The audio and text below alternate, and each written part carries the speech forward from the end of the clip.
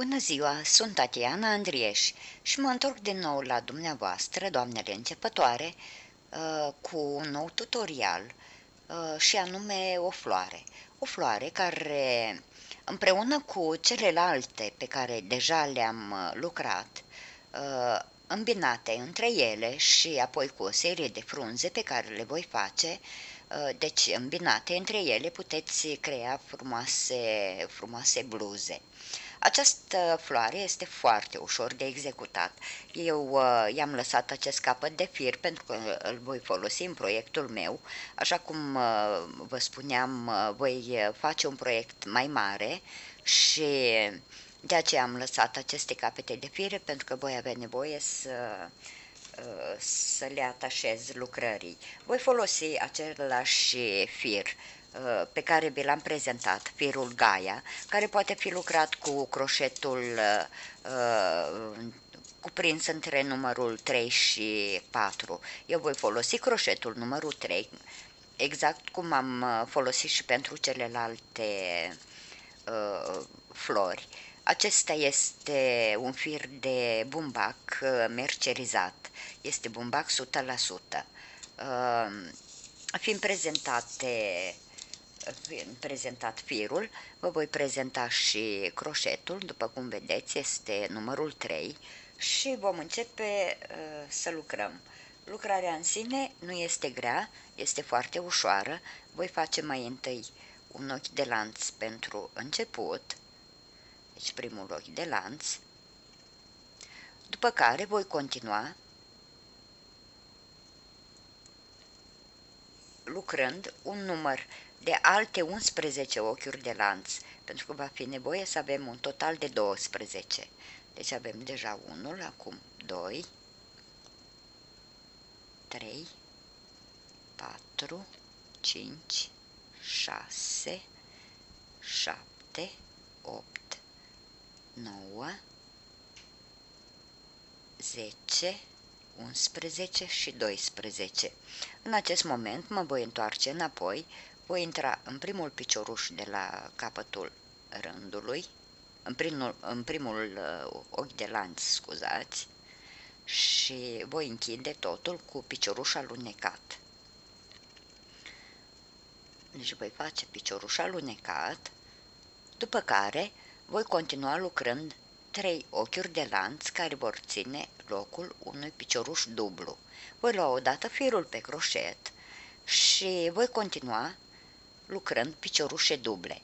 Vom avea nevoie de un total de 24 de piciorușe duble.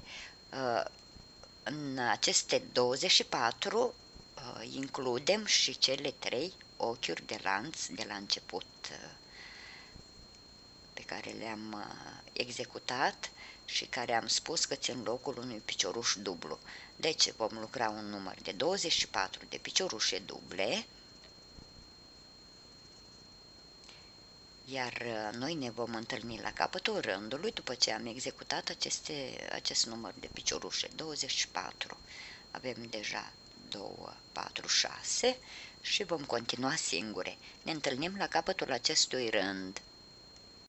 Am ajuns la capătul rândului, am lucrat cele 24 de piciorușe duble. Acum voi închide rândul în cel de-al treilea ochi din uh, cele trei ochiuri de lanț pe care le-am uh, lucrat la începutul rândului, voi lucra uh, un fir alunecat, astfel le-am închis. Acum voi face un număr de șase ochiuri de lanț, din care primul va ține locul unui picioruș scurt. Deci avem 3, 4, 5 și cel de-al șaselea. Apoi voi sări două piciorușe, voi intra în cel de-al treilea și voi face un picioruș scurt. După care voi continua 5 ochiuri de lanț, 1, 2, 3, 4, 5. Voi sări din nou două piciorușe din rândul anterior, voi intra în cel de-al treilea și voi face un picioruș scurt. În felul acesta vom lucra de jur împrejur. 1, 2, 3, 4, 5. Voi sări din nou 2, voi intra în cel de-al treilea, voi face un picioruș scurt. Din nou, vom continua în felul acesta, vom sări două piciorușe din rândul anterior, în cel de-al treilea vom face picioruș scurt, 2, 3, 4, 5, voi sări două, voi intra în cel de-al treilea, picioruș scurt. Acest rând îl lucrez împreună cu dumneavoastră pentru că uh, veți vedea aici la capătul rândului uh, modul în care trebuie să lucrăm. Voi intra în cel de-al treilea picioruș, face picioruș scurt, 1, 2, 3, 4, 5, voi sări din nou două piciorușe, voi intra în cel de-al treilea,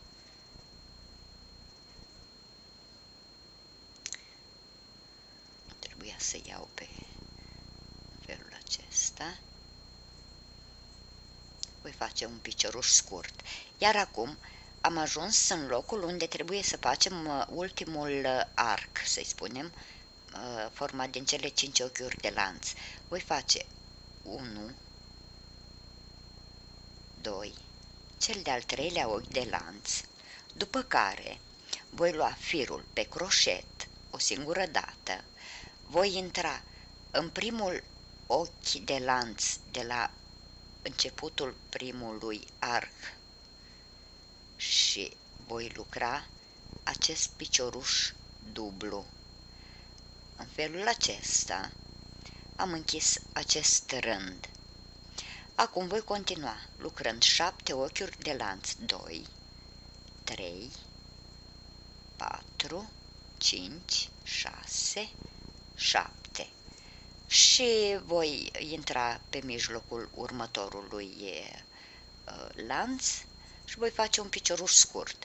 Voi continua cu șapte ochiuri de lanț, 2, 3, 4, 5, 6, 7. Voi intra în mijlocul următorului uh, segment făcut uh, din cele 5 ochiuri de lanț, am făcut un picioruș scurt și vom continua în felul acesta până la capătul rândului. Noi ne vom întâlni la capătul acestui rând.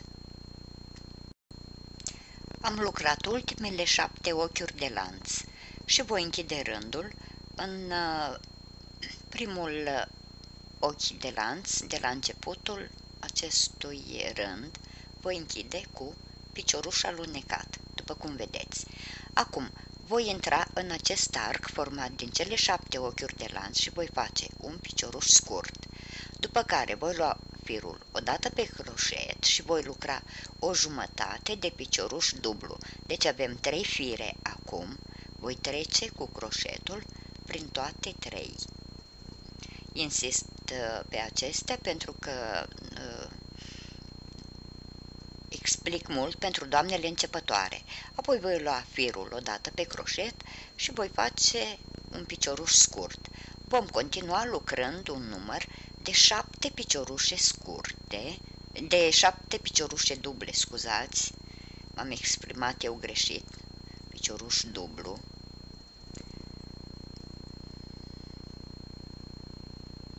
avem 3,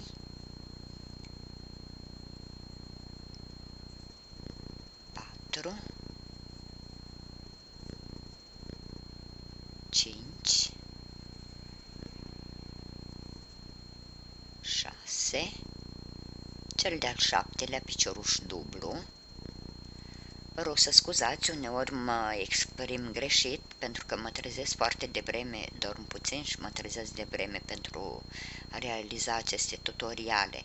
Deci am lucrat cele șapte piciorușe duble, acum voi face din nou o jumătate de picioruș dublu, un picioruș scurt și am încheiat uh, de lucrat uh, în acest uh, prim arc. Deci am făcut practic prima petală.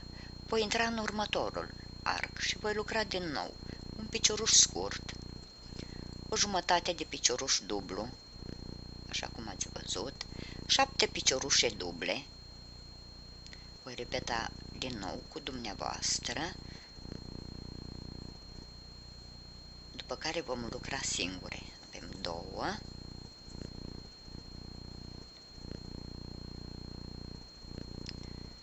trei,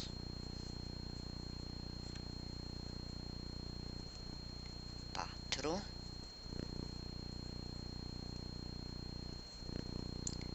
cinci,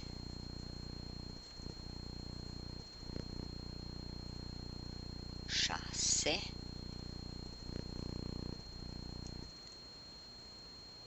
șapte, Acum voi face din nou o jumătate de picioruș dublu și un picioruș scurt.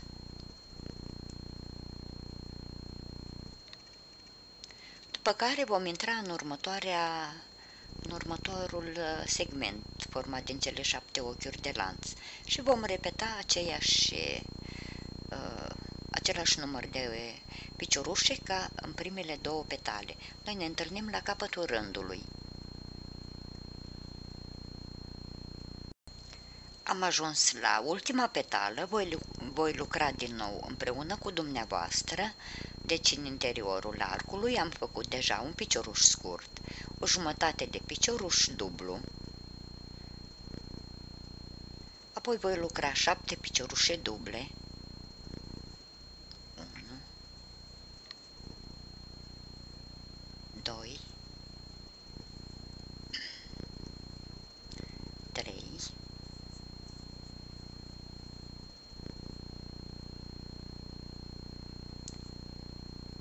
4,